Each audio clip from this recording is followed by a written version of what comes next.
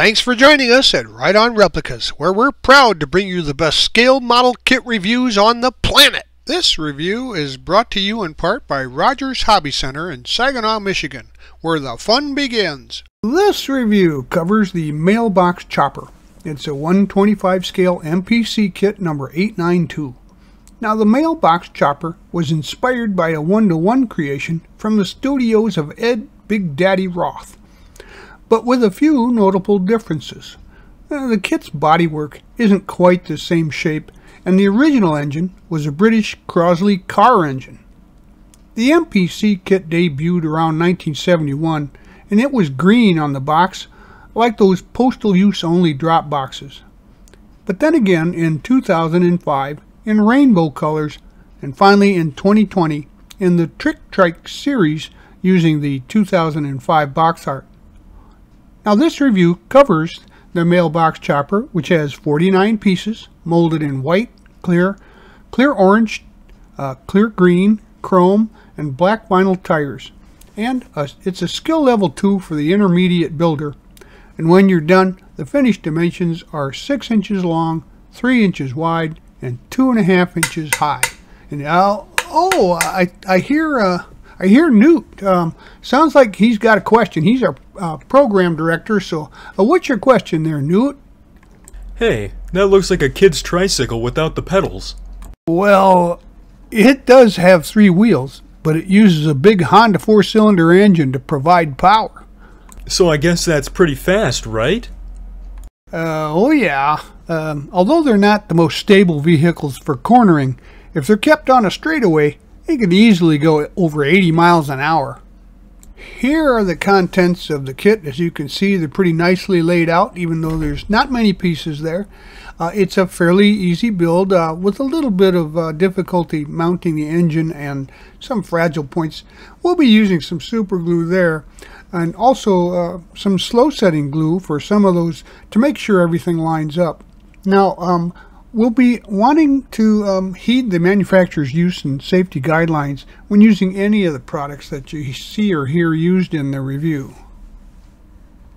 Here are the decals for the kit. Um, as you can see, they're extremely colorful. The registry is very good, and there's even some bonus decals there that won't fit on the motorcycle or the trike, but you know you can use it uh, on a car or truck. Um, you may need to use some setting solution if you use some of those uh, flames, etc.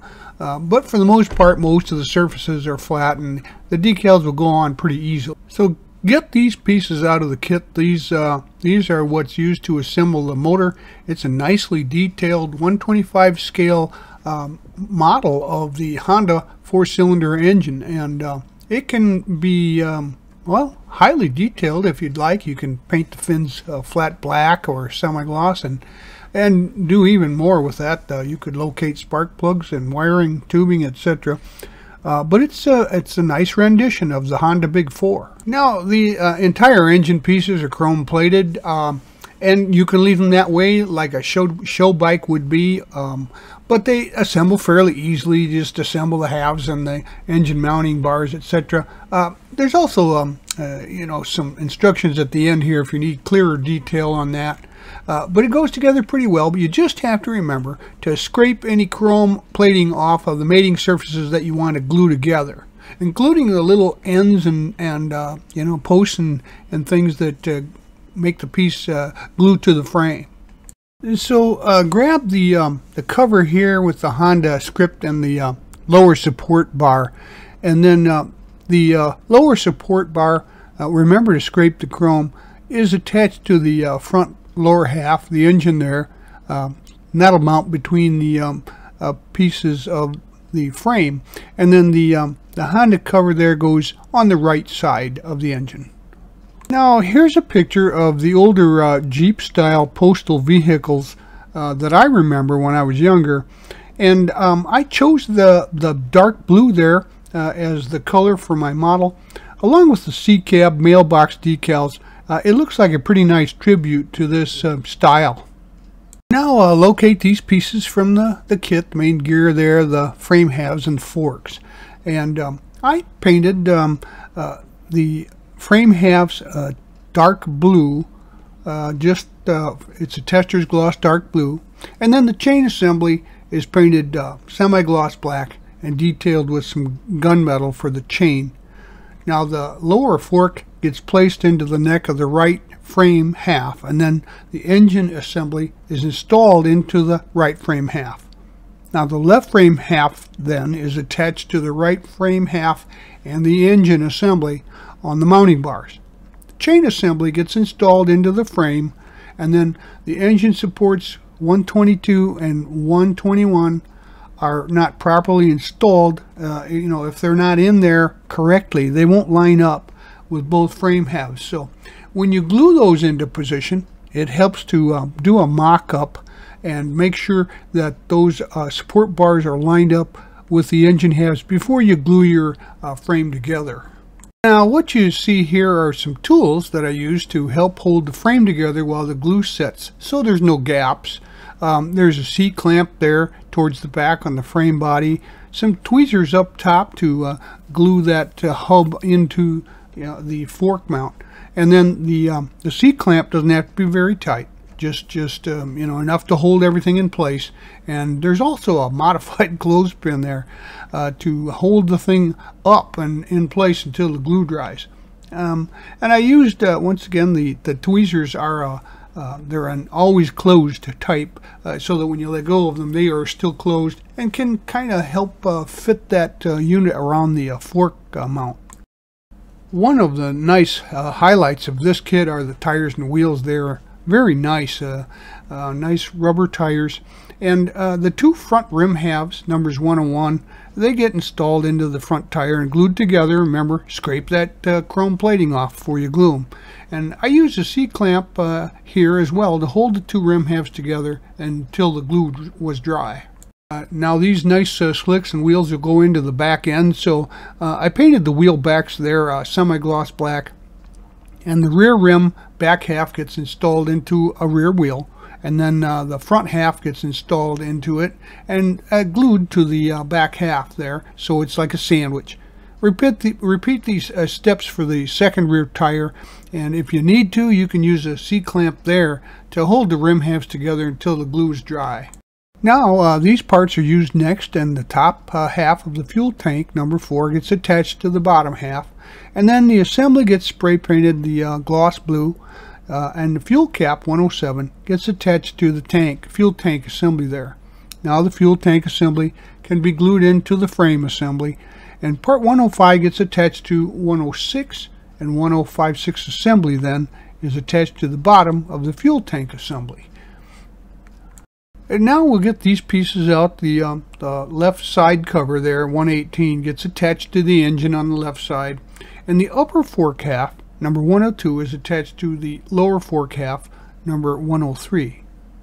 The uh, exhaust pipes come out uh, in two pieces. Uh, there's 108 and 109, and they get assembled and installed into the frame assembly uh, out of the uh, front of the engine and down around and out the back. We'll uh, use these pieces next. Uh, you can see the headlight bezels and the headlights are in there with the uh, clear lenses. And first we're going to attach the lenses to those bezels and then uh, both the headlight assemblies get glued to the forks there in the center. You can see them.